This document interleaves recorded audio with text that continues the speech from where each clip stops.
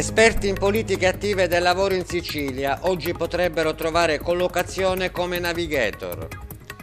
Chiusa l'inchiesta sulla nave 18 a Catania, sotto accusa quattro scafisti e si attende la memoria difensiva del ministro Salvini. Elezioni amministrative. In Sicilia si voterà il prossimo 28 aprile, 34 i comuni al voto. Bentrovati alla seconda edizione di Media News di mercoledì 6 febbraio. Esperti in politiche attive del lavoro in Sicilia, figure professionali fuori dal mondo della formazione da 5 anni, oggi potrebbero trovare collocazione come navigator in quello che sarà l'iter per ottenere il reddito di cittadinanza. La nostra vertenza, come tutti ormai sanno, dura da 5 anni. In questo momento c'è questo treno che sta passando appunto sui navigator. Quindi non vediamo la motivazione per la quale si deve cercare altro, eh, altre professionalità in altri ambiti che devono peraltro essere poi anche qualificati se già ci siamo noi, che pur, non, pur essendo licenziati vogliamo dire però che siamo dei precari morali perché c'è un, un, un, fattore di moralità nei confronti di cinquantenni che hanno perso il lavoro ingiustamente e che quindi ora eh, abbiamo l'opportunità eh, di riprenderci il nostro lavoro. Quindi vi presenterete a Roma come dei navigator impactor nei prossimi giorni? Allora noi ci presenteremo a Roma perché c'è un tavolo aperto il tavolo è stato aperto il 13 luglio e non investe solo eh, il settore diciamo, degli sportelli multifunzionali, ma investe tutta la formazione perché eh, i colleghi degli interventi, anche loro, sono stati eh, letteralmente buttati per strada. Vero è che ci sono degli avvisi e quant'altro, ma che non riescono a coprire eh, tutti i lavoratori che hanno, eh, come, eh, hanno perso il lavoro. E quindi diciamo che eh, Roma è un discorso unitario insieme a tutta la formazione professionale.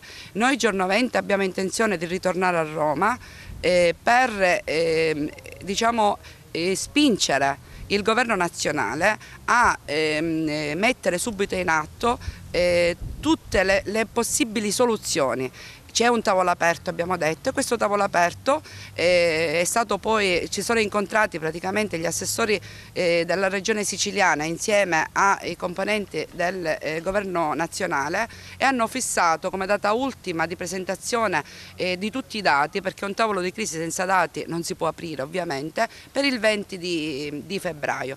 Eh, e dopo ci, ci sarà, eh, almeno da quello che hanno detto, una riunione, di nuovo la seconda riunione tra queste due istituzioni per addivenire ad una soluzione che sicuramente sarà anche variegata e che, dove si potranno utilizzare anche le norme nazionali. Oggi il quadro si è ulteriormente complessificato nella misura in cui abbiamo delle misure nazionali che voler eh, sembrerebbero voler intervenire a favore di questa platea. Abbiamo delle misure che prevedono la regoazione del eh, benedetto reddito di cittadinanza e abbiamo d'altra parte degli operatori che sono stati formati con risorse eh, regionali. Pensate che qualcuno ha persino pagato eh, diciamo, rispetto all'impegno economico che è stato predisposto. Eh, questo significa che risorse importanti sono state erogate e la beffa ehm, finirebbe con l'essere quella di non vedere impegnati questi soggetti eh, dopo che sono stati formati. Rischiamo che questo reddito di cittadinanza in Sicilia non partirà eh, mai o partirà in tempi lunghissimi conoscendo i tempi della burocrazia. Abbiamo invece degli operatori che sarebbero nelle condizioni di farlo già domani mattina e quindi non comprendo perché non si debba fare. Ci tengo ovviamente però a dire eh, che eh, la causa delle politiche attive del lavoro si inserisce in una vertenza più grande che è quella della formazione professionale tutta ed è per queste ragioni che insomma eh, gli interventi da una parte e i servizi dall'altra si stanno organizzando per andare a Roma e chiedere un intervento decisivo e definitivo da parte del Ministero. Sono 2.961 le domande di pensione a quota 100 presentate finora all'Inps in Sicilia. Il dato aggiornato alle 19 di ieri è stato comunicato dall'Istituto di Previdenza. Sfiorano quota 3.000 le domande di pensione in Sicilia per quota 100. Secondo l'ultimo dato aggiornato alle 19 di ieri sera sono 2.961 quelle presentate all'Inps. Le richieste più numerose si registrano nella provincia di Palermo con 747 istanze. Seguono Catania con 659, Messina con 415, Agrigento con 252, Trapani con 249, Siracusa con 221. In coda Enna dove sono state presentate 141 domande, Caltanissetta 140 e infine Ragusa con 137. Secondo i dati dei sindacati sono 30.000 siciliani che hanno i requisiti idonei. In totale l'incidenza delle domande nell'isola è pari a oltre il 10% del totale nazionale, dove le domande hanno superato le 21.000 richieste in 24 ore. Di queste il 42%, oltre 9.200, proviene dalle regioni del sud e dalle isole. E intanto, secondo il presidente INPS Tito Boeri, il dato stimato nell'arco di un anno è di 290.000 domande. Sugli effetti del decreto quota 100 poi commenta: è molto difficile che le persone che lasciano il posto di lavoro vengano sostituite con qualcun altro, perché spesso le persone che lasciano sono imprese in declino mentre le assunzioni avvengono altrove. E aggiunge: non siamo come in un autobus all'ora di punta che per far salire bisogna far scendere qualcuno. Noi abbiamo stimato che in alcuni contesti e per brevi periodi di tempo si può avere un rapporto che ogni tre pensionati c'è un giovane in più, ma sono casi limitati ed abbastanza estremi. Cambiamo argomento, chiusa l'inchiesta sulla nave 18 a, 18 a Catania, sotto accusa quattro scafisti e si attende la memoria difensiva del ministro Salvini.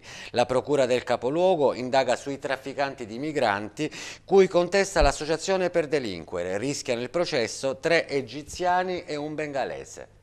La Procura di Palermo ha chiuso l'indagine sui quattro presunti scafisti che nell'agosto scorso avrebbero condotto un barcone con 190 migranti a bordo, partito dalla Libia e diretto in Sicilia e soccorso dalla nave 18. La vicenda, per i ritardi nello sbarco dei 177 rimasti a bordo, ha portato alla richiesta di autorizzazione a procedere per Matteo Salvini, avanzata al Senato dalla Procura di Catania, su ordine del Tribunale dei Ministri del capoluogo etneo. Per l'ipotesi di sequestro di persona attribuita al vice premier e ministro dell'interno è competente infatti la magistratura catanese perché lo sbarco dei migranti fu impedito per alcuni giorni tra le acque delle province di Ragusa e Siracusa e il porto di Catania. La procura di Palermo si occupa invece della parte relativa al viaggio partito dalle coste libiche il 16 agosto con una quanto mai precaria imbarcazione entrata in acque italiane nell'area di Lampedusa, dunque in provincia di Agrigento, territorio del distretto giudiziario del capoluogo della Sicilia. Gli indagati, tutti in carcere, sono gli egiziani Ahmed Shalabi Farid, di 23 anni, Ashraf Abn Ibrahim, di 39, Al-Jesar Mohammed Ezet, di 24 anni, originario del Bangladesh, e infine Shalom Mohammad, di 26 anni. I PM contestano l'associazione per delitto delinquere finalizzata alla tratta di esseri umani, violenza sessuale e favoreggiamento dell'immigrazione clandestina, con una serie di aggravanti, come avere fatto parte di un'organizzazione che teneva i migranti in campi di prigionia in Libia, dove venivano sottoposti ogni sorta di abusi e vessazioni e che li faceva partire su natanti fatiscenti con enormi rischi per l'incolumità personale, dopo aver pagato ingenti somme di denaro. I quattro furono identificati grazie alle testimonianze delle persone tratte in salvo, per la stessa ragione per cui l'indagine sugli scafisti era stata aperta dalla DDA di Palermo. Inizialmente anche la competenza del Tribunale dei Ministri era stata attribuita ai giudici del capoluogo siciliano che poi l'avevano trasferita a Catania. Elezioni amministrative in Sicilia, si voterà il prossimo 28 aprile, 34 i comuni al voto. Polemica dei 5 Stelle sul mancato Election Day. La risposta dell'assessore Grasso, scelta obbligata per il ritorno delle elezioni delle ex province. In Sicilia si voterà per le elezioni amministrative il prossimo 28 aprile, con eventuale ballottaggio il 12 maggio. Non ci sarà quindi l'Election Day con le europee previste in una data compresa fra il 23 e il 26 maggio. Polemici deputati del Movimento 5 Stelle che sottolineano che questa scelta costerà ai siciliani un milione di euro. In un momento in cui ci apprestiamo a varare una manovra lacrime e sangue con tagli pressoché generalizzati in tutti i settori e con i servizi essenziali appesi a un filo, afferma il capogruppo Francesco Cappello, certe scelte appaiono del tutto folli. La data del 28 aprile individuata dal governo per le prossime elezioni amministrative nell'isola è stata una scelta obbligata dalla decisione del Parlamento siciliano. Nella legge regionale che consentirà finalmente alle ex province di tornare al voto dopo anni di continui commissariamenti, infatti è stato previsto che il rinnovo dei sindaci e dei consigli comunali fosse antecedente a questa consultazione. Lo dice in una nota l'assessore regionale alle autonomie locali Bernadette Grasso rispondendo alle polemiche sul mancato Election Day. Visto che a fine maggio si voterà anche per il Parlamento europeo, quindi non c'erano altre possibilità.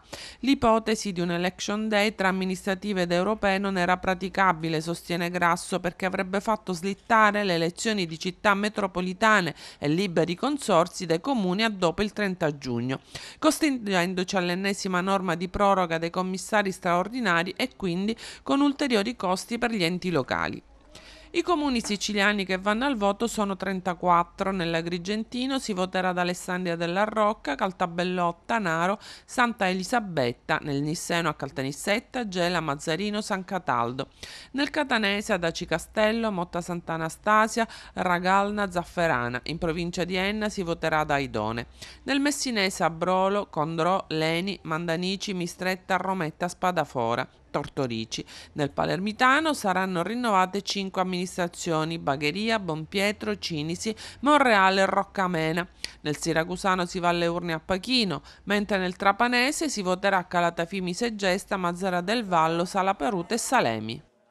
Nel giorno del compleanno di Mario Francese, a 40 anni dalla sua uccisione per mano di Cosa Nostra, oggi alla prefettura di Palermo incontro con gli studenti delle classi superiore sul valore insostituibile dell'informazione. I giornalisti Paolo Borrometi e Annabelle Hernandez hanno raccontato attraverso le proprie storie e il proprio impegno l'importanza della notizia e della verità. Il ruolo del giornalista è fondamentale soprattutto per far conoscere i fatti, ma spesso la verità. La verità, i fatti e la verità devono essere la stessa cosa è importante l'informazione perché è la base per una democrazia partecipata. Partecipazione è l'essenza della democrazia, non ci può essere partecipazione se la, se la, gente non è consapevole, se non ha consapevolezza, se non ha conoscenza della verità e dei fatti. Quindi è imprescindibile di democrazia di sviluppo culturale e sociale di un paese. Eppure anche in un paese democratico a volte i giornalisti vanno difesi. No, devono essere sempre difesi i giornalisti perché quando dicono la verità e colpiscono al cuore un sistema questo mafioso comunque di potere certamente danno fastidio e quindi vanno assolutamente difesi come vanno difesi tutti coloro che eh, diciamo, eh, sono e si prodigano per la legalità. Penso che in questo momento di crisi mondiale dove la democrazia è in rischio il ruolo del giornalista è fondamentale perché è l'unico che veramente può dire la verità alla società quando il governo vuole occultarla. Sembra un momento difficile perché prima era anche più semplice dire la verità, oggi tante volte si tende a seppellirla. A Messico è un esempio molto chiaro di questo. Più di 200 giornalisti hanno, hanno stato uccisi negli ultimi 12 anni per el gobierno, por la complicidad del gobierno e el narcos, porque ni el gobierno del narcos vuole che in Messico si dica la verità su di questa complicità tra il governo e il narcotraffico a Messico. Messico è uno dei paesi più, più peligroso per essere giornalista. Devo dire che in Messico hanno ucciso, hanno ucciso più giornalisti da, anche da Afghanistan e, e, e, e Libia o Siria dove è chiaramente una guerra. Io penso che l'informazione eh, per stessa definizione eh, deve essere libera. L'articolo 21 della Costituzione è il diritto del giornalista a informare, ma soprattutto il diritto del cittadino a essere informato. Quindi ognuno di noi ha una grande responsabilità, che non è solo quella di fare bene il proprio dovere, ma spiegare ai cittadini cosa accade nelle proprie realtà, perché solo grazie all'informazione, solo grazie al giornalismo libero, i cittadini saranno capaci di scegliere da che parte stare. Tu ti senti sufficientemente tutelato a questo punto? Punto? Ma a me lo Stato mi ha salvato la vita, appena pochi mesi fa è stato scoperto quell'attentato con un'autobomba nei miei confronti e l'ha scoperto questa squadra Stato che ha funzionato. La vita sotto scorto è una vita dura, però è la possibilità di continuare a fare semplicemente il proprio dovere. Ieri sei stato anche insignito della cittadinanza palermitana. Sì, è stato un grande onore, questa città è una città meravigliosa, è una città martire della mafia, è una città dove per qualcuno è nata la mafia, per me invece è nata la cultura antimafia, non solo l'associazionismo antimafia, ma la cultura antimafia, la cultura di persone che hanno speso la propria vita per resistere e per tutelare i veri valori. Protesta dei dipendenti comunali davanti a Palazzo delle Aquile a Palermo nel giorno dell'audizione del sindaco Leoluco Orlando dopo i rilievi mossi dal MEF. In una recente diciamo, lettera inoltrata dal Ministero dell'Economia e Finanza si mette in discussione appunto, lo status dei lavoratori del COIME, addirittura si dichiara l'eccedenza di questo personale e anche l'applicazione del contratto degli edili. Noi siamo qui per chiedere al Comune e al Sindaco, all'amministrazione e al Consiglio Comunale un pronunciamento chiaro i lavoratori vanno dire, eh, garantiti dal loro status sia per l'applicazione del contratto sia per quanto riguarda eh, il tempo indeterminato, sono lavoratori tempo, a tempo determinato per legge. Vorremmo anche capire chi è lo smemorato, chi, che non ricorda che questi lavoratori sono stati assunti a tempo indeterminato, chi è lo smemorato che non ricorda che questi lavoratori hanno, hanno diritto all'applicazione del contratto dell'edilizia, è una decisione diversa comprometterebbe appunto eh, lo status economico di questi lavoratori. Sindaco, al vaglio i rilievi del MEF, fuori c'è la piazza che chiede chiaramente garanzie, i sindacati hanno pronunziato danni e conseguenze sul fronte occupazionale. Ma io credo che la mia presenza qui in aula è un'azione antiterrorista, essendo terroristico il comportamento dei cosiddetti ispettori ministeriali. Non hanno letto le leggi, hanno disapplicato provvedimenti del Ministero dal quale dipendono e hanno preteso di invocare eccedenze di personale e violazione dei diritti del personale in aperta violazione delle norme alle quali ci siamo attenuti. Ma in realtà il vero responsabile di questa situazione è assolutamente Orlando, il quale in quest'Aula giusto qualche mese fa ha parlato addirittura di un intervento diabolico relativamente a quelle che sono state eh, le stanze degli ispettori del Ministero dell'Economia e della Finanza, ricordiamolo, dei veri ispettori del Ministero dell'Economia e della Finanza che hanno fatto le pulci, come si suol dire, a quelli che sono non soltanto la, quella che è non soltanto la pianta organica dell'amministrazione comunale ma l'intero impianto. Eh, una serie di rilievi, ben 46, soltanto a 8 eh, sono stati i rilievi infatti accolti, eh, per quanto riguarda tutto il resto c'è stato un totale diniego, una totale non accettazione di quelle che sono state le risposte di questa amministrazione che non ha saputo assolutamente rispondere, forse perché la dinamica è davvero molto complessa o forse perché il nostro caro sindaco ha tentato di spostare l'attenzione su una sorta di complotto di natura politica. Prigionieri in 41 bis in condizioni inaccettabili. Il garante nazionale dei detenuti, Mauro Palma, attacca l'applicazione della misura. Sono 738 uomini, 10 donne e 5 internati in casa di lavoro i detenuti sottoposti al regime del carcere duro, il 41 bis. E in base ai dati aggiornati al gennaio 2019 soltanto 363 di essi e delle 10 donne solo 4 hanno una posizione giuridica definitiva. A segnalarlo è il garante nazionale dei diritti delle persone detenute o private della libertà personale, Mauro Palma, che ha visitato tutte tutte le sezioni per i detenuti al 41 bis. Ci sono inoltre 18 persone ricoverate nei reparti ospedalieri interni agli istituti a Parma e a Milano Opera. A fronte di questi numeri, le condizioni materiali in alcune sezioni per detenuti sottoposti al carcere duro risultano inaccettabili, scrive Palma, che ha visitato tutte le sezioni in cui si applica questo regime. Le principali criticità riscontrate riguardano le situazioni soggettive relative alle reiterate proroghe del regime e all'inserimento di alcuni detenuti in aree riservate che finiscono per costituire un regime nel regime. In alcuni istituti l'adozione di regole interne interne, eccessivamente dettagliate su aspetti quotidiani, vanno anche oltre le già minuziosi prescrizioni della circolare del 2 ottobre 2017, sottolinea il garante, ricordando di avere già espresso a suo tempo alcune riserve. L'esame dell'attuazione del regime speciale si è sviluppato nel solco tracciato da diversi pronunciamenti della Corte Costituzionale e della Corte Europea dei diritti umani, che individuano la piena necessità di misure volte a proibire ogni forma di comunicazione con le organizzazioni criminali di appartenenza e al contempo a vietare ogni altra misura che possa configurarsi come inutile aggiuntiva afflizione. E adesso vi raccontiamo la storia di Stefano, un volpino che a Mazzarino dopo tre anni aspetta in ospedale il ritorno del suo padrone morto di infarto. Un legame indissolubile che supera persino la morte. Una storia d'amore e di dedizione che supera la morte, che non finisce nonostante tutto. Arriva da Mazzarino, nel Nisseno, e il protagonista è un cagnolino che, fedele al suo padrone da quasi tre anni, attende di vederlo uscire da quella porta che un pomeriggio d'estate lo ha portato via per sempre. Ma lui, un volpino dagli occhi buoni ma ormai spenti, lo aspetta nella speranza di poterlo accogliere scodinzolando così come faceva prima.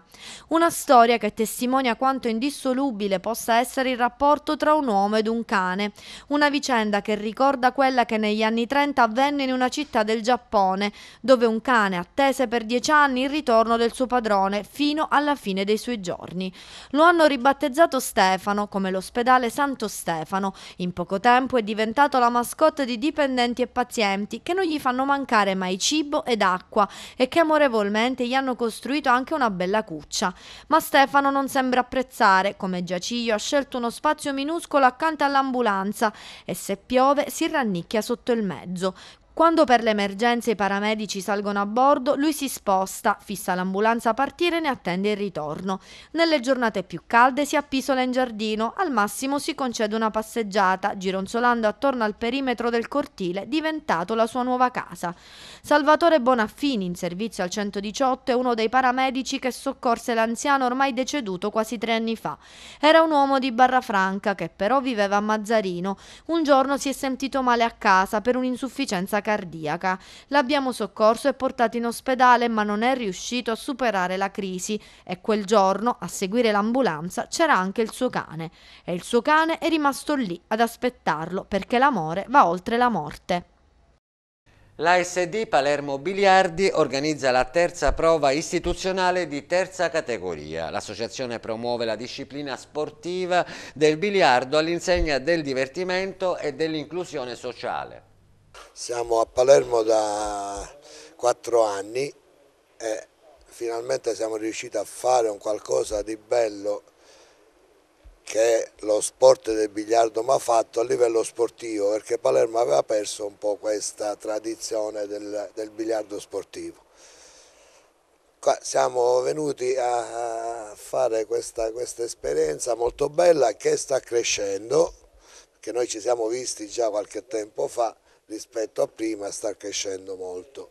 Oggi la gara, eh, c'è una gara territoriale chiamata così, è praticamente la provincia di Palermo che gioca qua a Palermo e è valevole per le qualificazioni al campionato italiano che si fanno di solito a Saint Vincent a giugno si fa c'è tutte le categorie del biliardo che giocano a San Vincent e quindi questa è una prova fatta, gli atleti che vincono acquisiscono dei punteggi che poi alla fine serve per la classifica provinciale per andare a disputare il campione italiano e voglio dire che ultimamente negli ultimi anni i campioni italiani siciliani sono stati tanti, quasi, quasi tutti. Io sono Ignazio Raimondi, sono un medico che dopo la, il pensionamento, nonostante continua a fare il libero professionista, però mi sono appassionato a questo bellissimo gioco che è il biliardo. Cosa l'ha portata qui? L'ha portato perché frequento un circolo a Termini Merese dove c'è un bellissimo biliardo, dove ci sono altri amici che giocavano a questo gioco, che avevano molta, molta più esperienza di me e da autodidatta ho letto qualcosa, poi chiaramente ho provato e, e mi sono appassionato, è un bellissimo gioco ti crea associazione, ti crea eh, un gioco tra amici nel senso di sfottò reciproci e chiaramente eh, se si prende nel giusto verso, perché chiaramente poi ci sono delle condizioni in cui eh, durante la gara ci può essere un po' di agonismo, però sostanzialmente eh, crea la possibilità di, eh, di socializzare, di, insomma un bellissimo gioco. Parliamo del, del biliardo, questa è una disciplina eh, chiaramente non moderna che richiede molta metodologia, disciplina e attenzione come ci diceva il nostro amico.